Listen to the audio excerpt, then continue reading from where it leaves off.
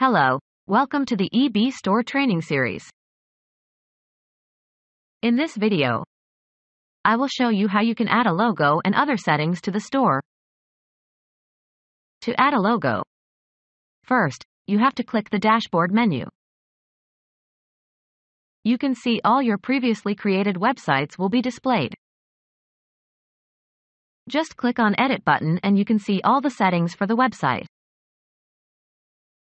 The first option is a store logo. This image will be used as a logo for your store. The next options are for providing information like contact email and about content that will be displayed on the footer of the website. Inside the website footer settings section, you can provide information like your social network profiles, opt-in form code for newsletter function, Facebook comments section, live chat code, website metadata text, and favicon. Once you provide all the information, simply click on the Save Website button. Now you can see all the changes is added to your website.